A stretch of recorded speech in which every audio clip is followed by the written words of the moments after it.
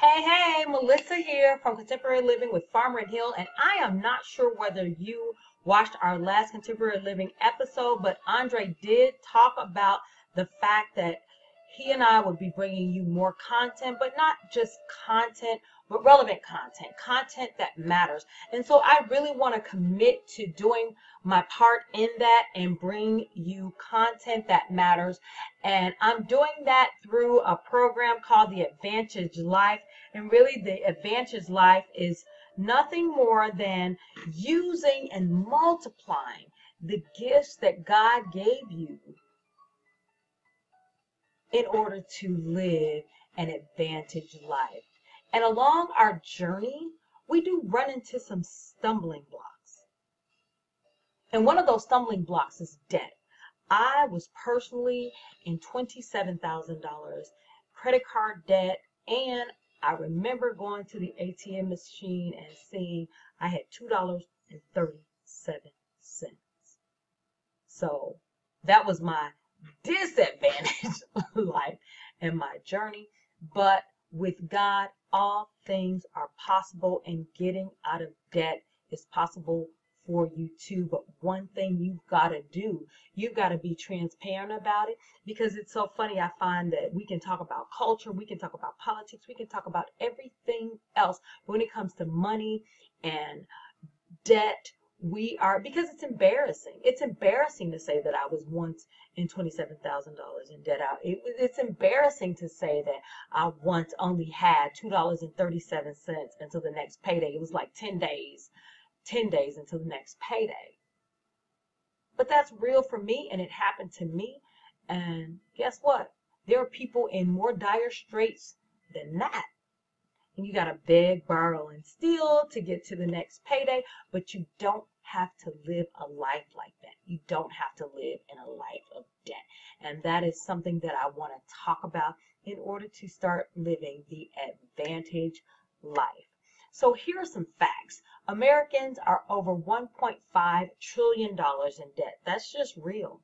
But if you don't know what $100,000 looks like, a trillion dollars, you may may as well be saying a zillion, gazillion, gabrillion. But just know that it's a lot of money. We are, you know, we are a lot. We are very much indebted in this country. And many countries do not live like that. Also, less than 62% of Americans have $1,000 in their savings account. Now, this may be hit closer to home for you. For you. Do you have $1,000 in your savings account? Can you just snatch it out, give it to someone, not think of it, or have an emergency, snatch it out, use it? Well, less than 62% do. So the likelihood that I'm talking to at least one person who's in that situation, I'm glad you came. Another fact, people have no clue exactly how much they owe in credit card debt. Yeah, I owe $27,000 in credit card debt across, I think it was about two or three cards.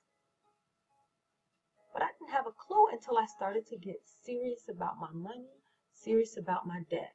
And that's the same thing you're going to have to do. But did you know that there are more payday loan stores than there are McDonald's in the U.S.? Hmm.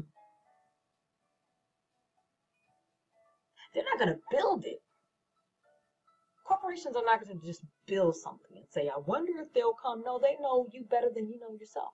They know pretty much how many people are going to come, how much money they can expect to get to it. And notice the neighborhoods these payday loans are in. Yeah, they're preying on you, but it's a two way street. You're allowing them to prey on you. Now, I've never been to a payday loan store, but we know that it, if you're going to a payday loan store, you are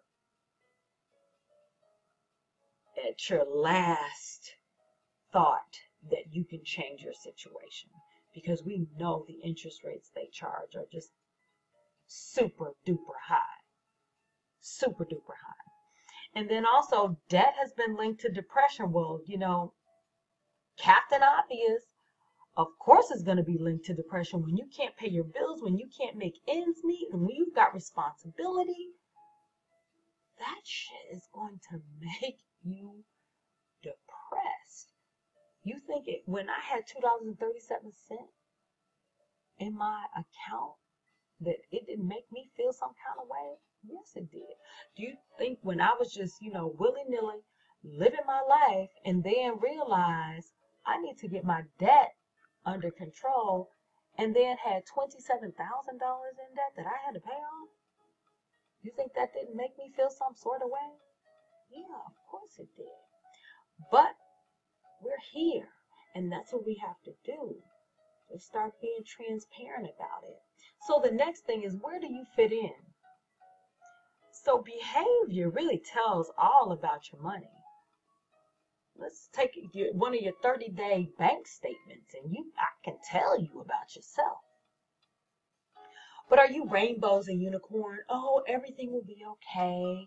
You know, like one of those love child or the universe will take care of everything.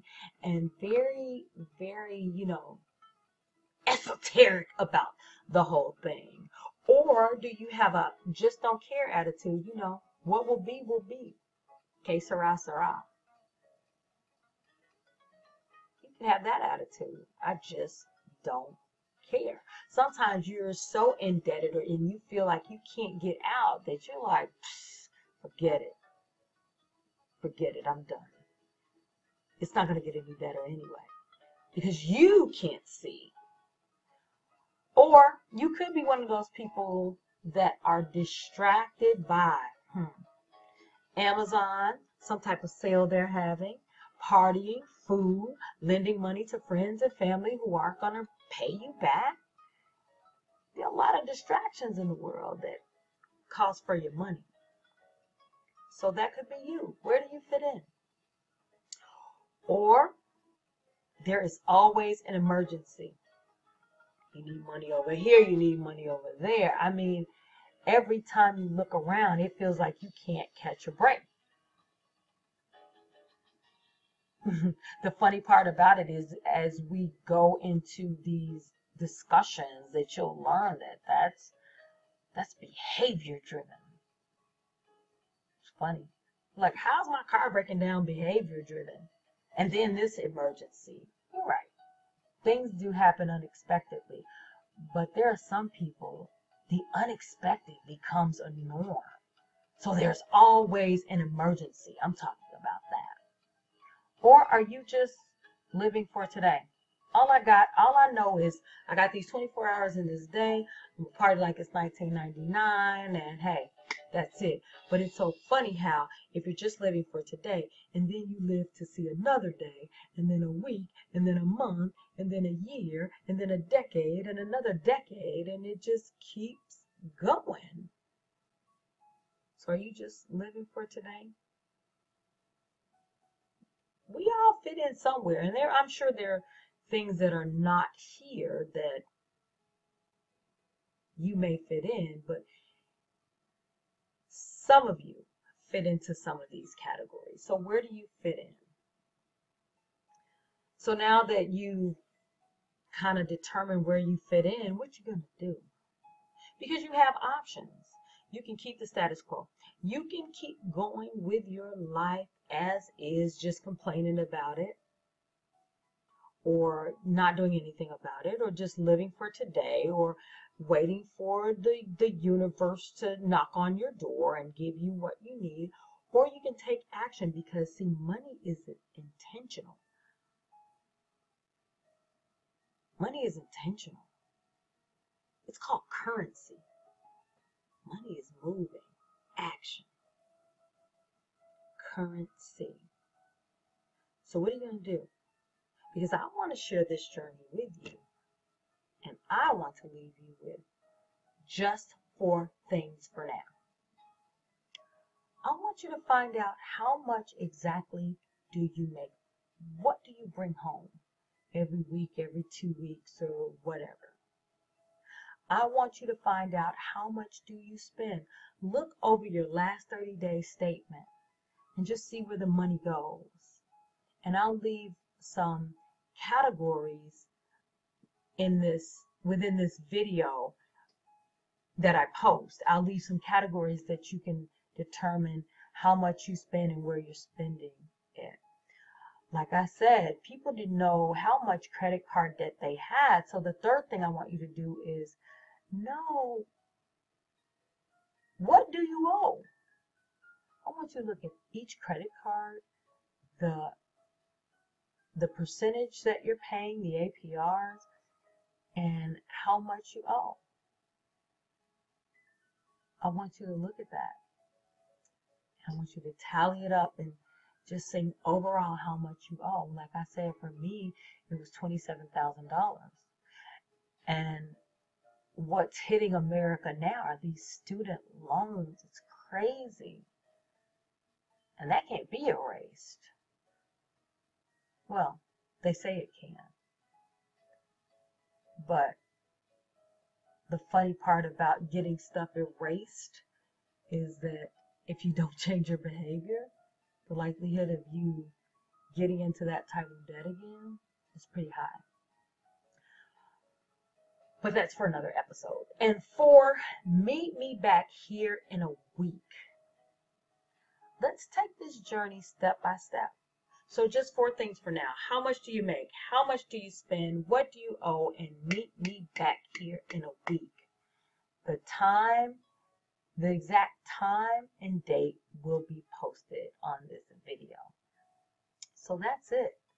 That's just small content coming to you that you can use. And remember, communicate, communicate, communicate with us. You can reach us. You can see our show every Thursday, 9 p.m. Central Standard Time, 65 communities in the South suburbs and Northwest Indiana. You can every Thursday at 9. I just wanted to make sure I said that again. you can see us on Facebook. Hey, if you can't, if you don't have Comcast, because many don't have Comcast, you can always see our show on Facebook. You can reach us by Gmail at farmerandhill at gmail.com. That's farmerandhill at gmail.com or YouTube, Contemporary Living with Farmer and Hill. As always, thank you for watching. Continue to just connect with us and be brilliant. Be you. Be blessed.